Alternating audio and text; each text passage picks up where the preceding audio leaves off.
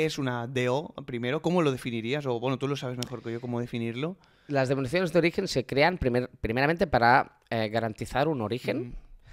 para, segundamente para garantizar, garantizar una calidad, ¿de acuerdo? Es decir, mm, pues marcan los kilos por hectárea, etcétera.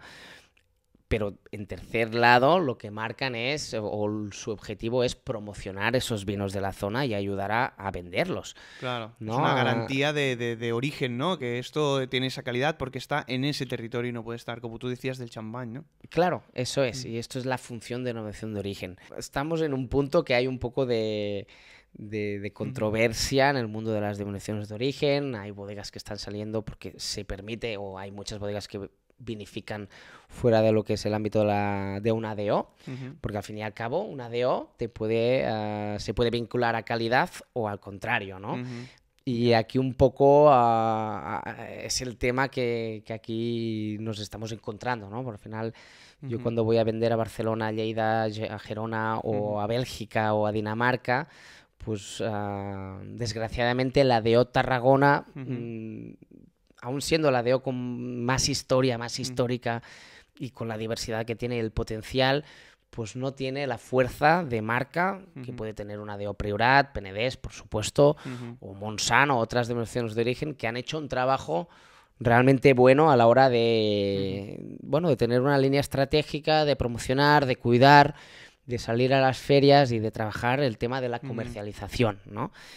Y, bueno, es un tema que, que, también la marca de una DO también sujeta y ayuda a vender o ayuda a vender menos. Claro, obviamente. Y, sí, sí. y es, un, es un tema un poco delicado hoy en día, ¿no? Uh -huh. Pero sí. Sí, sí, eh, como tú dices, realmente hay unas, unas DOs que entiendo que tienen sus directrices, ¿no? Sobre todo serán geográficas, me imagino. Uh -huh. Es decir, si estás fuera de, de, la zona de Penedès, no puede ser de Penedès, ¿no? Claro, entiendo obviamente. Sí. obviamente. Eh, claro, hay algunas que, como Priorat, que es de OQ, que es de denominación uh -huh. de origen calidad, por algunas características concretas, que además está en una zona en la que también hay otra DO, que es, que es Monsanto. Lo que pasa que hay algunas que son de OQ Priorat. Esto seguro que si tú lo explicas, eh, lo, lo harás mejor que yo, ¿no? Eh, entiendo que hay unas, unas características de, pues, a nivel de los kilos de, de uva que se pueden sacar de cada, de cada cepo. ¿se, se sí, los kilos por cepa, bueno, por hectárea, que decimos. Por, por hectárea. Eh, no sé si el método de, de recolección también es importante, uh -huh. que sea manual, etcétera, ¿no? Uh -huh. Y en cambio la de Tarragona, pues eso, no, no ha sabido mm, estratégicamente quizá posicionarse tan bien en el mercado, ¿no? Para tener esa, ese sello de calidad que quizá otras de OS sí han sabido hacer, ¿no? Como tú decías, la de Penedès, y, y, que a veces no necesariamente, eh, no vamos a, a, señalar ninguna, ¿no? Pero no necesariamente van ligadas a esa calidad, simplemente que han sabido hacer mejor marketing y eso hace que sus productos se revaloricen solo por tener ese sello, ¿no? Sí, totalmente. Yo creo, a ver, yo personalmente como gran consumidor de vinos también, uh -huh. yo me fijo más en lo que es en las bodegas, en el nombre, en la yeah. historia, en lo que hay detrás pero lo que es el consumidor, mm, diríamos, general, gran público, pues claro, cuando seguía a la hora de elegir un vino, pues seguía por, por una adopción de origen, ¿no? Uh -huh. eh, pero sí, es cierto, ¿no? Aquí en Tarragona hay gran uh -huh. superficie de viñas y mucha cooperativa, pero que también ofrece mucha calidad y es uh -huh. siempre pues intentar pues poner por delante lo que es la calidad que no el gran volumen, ¿no? Y podríamos decir que aquí en Tarragona pues esto aún estamos, pues bueno, nos estamos poniendo un poco las pilas para, uh -huh. para, explicar al mundo que aquí se hacen también grandes vinos, que no es una sorpresa que un día Tarragona sea uh -huh. un gran vino. Uh -huh. y, y, bueno, es un poco una lucha también, ¿no? Porque claro. eh, no es fácil ir a vender un día Tarragona, ¿no? A veces no sé, hace una semana vas a Barcelona, tiendas especializadas, todas tienen sus, ¿no? sus espacios de otras DOs y la DO Tarragona no, no tiene ni su espacio, ¿no? Yeah.